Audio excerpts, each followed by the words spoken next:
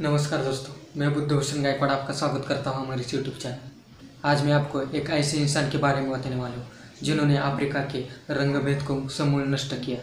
ये करने के लिए उन्हें अपने जीवन के 27 साल जेल में काटने पड़े। आज मैं आपको नेल्सन मंडेला की कुछ महत्वपूर्ण जानकारी बताने वाला हूँ।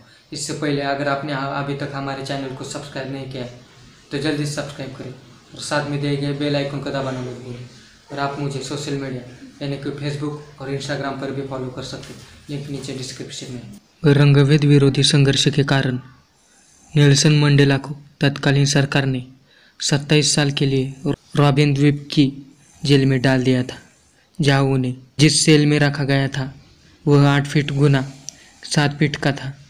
यहाँ उन्हें एक खास फूस की एक चटाई दी गई थी, जिस पर वह सोते थे।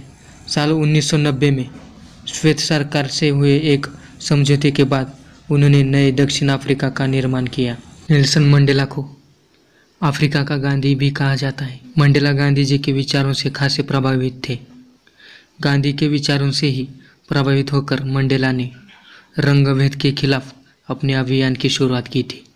यह भी रोचक बात है कि मोहनदास करमचंद गांधी को महात्मा गांधी बनाने वाली भी दक्षिण अफ्रीका की ही धरती थी, जहाँ रंगभेद के कारण उन्हें ट्रेन की फ़र्स्ट क्लास बोगी से बाहर कर दिया गया था। कारावास में रहते मंडेला ने लंदन विश्वविद्यालय से लॉ में स्नातक की डिग्री प्राप्त की। जेल से बाहर आने के बाद उनका साक्षात्कार करने वाले भारत के पहले पत्रकार सईद नकवी थे। सईद नकवी ने बताया, मंडेला 27 साल बाद जेल से बाहर आने के बाद उन्होंने पहली बार खाना खाया तो वो भारतीय चिकन करी और राइस था।